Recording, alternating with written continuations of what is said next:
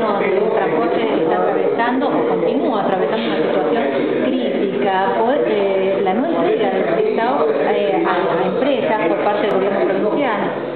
Sí, de cualquier manera el problema estaba eh, al extremo de que la empresa UTE depositó el 50% del salario de los trabajadores del mes de marzo, pero bueno, a través de una este,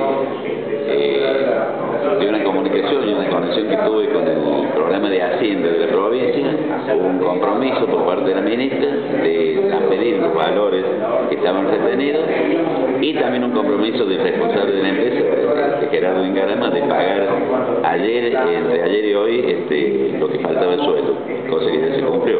Así que en parte hemos solucionado este, este problema. A mí un poco me preocupa es el tema de esta ley que han enviado al Senado de la redistribución de los fondos que vienen de, la Nación. Y me preocupa porque eso creo a traer más problemas que soluciones, porque esos dineros son destinados este, ya eh, para cada empresa en los montos fijados. Y si... ¿Qué significaría esta redistribución? Que los fondos que son destinados a una empresa ahora se organicen nuevamente y se distribuyan entre todas las empresas, ¿cómo sería? Y ya nos pasó hace seis años atrás y fue motivo de que suspendieran todo el fiscal. Entonces, bueno, vamos a citar a la ministra para el día martes conocimiento del alcance de esta ley, porque tenemos que evitar por todos los medios que nos corte la nación todo lo que es el sistema sistema y corremos ese riesgo.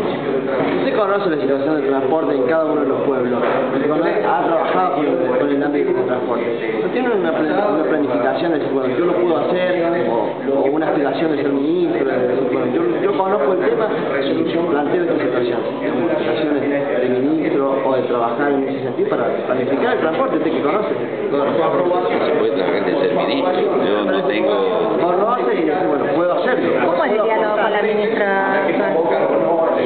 No, he tenido una, conversación con ella, pero como sé esta ley que se mandó, la ley que ellos son los funcionarios del Ejecutivo, no tienen por qué consultarme, pero me parece que a veces es importante, un poco lo que él decía, eh, por supuesto que sé mucho de transporte, y yo siempre dije de que no funciona, yo te dije que no iba a funcionar transporte para todos, y lamentablemente no está funcionando. Y esto de estos dineros que vienen de la nación, yo creo que lo que hay que hacer es controlar a las empresas que perciben ese y que no cumplen con la resolución 337. El problema es que la gente que está a cargo del, del ministro del Ministerio de Transporte no conoce a fondo o no se preocupa por conocer a fondo esta problemática.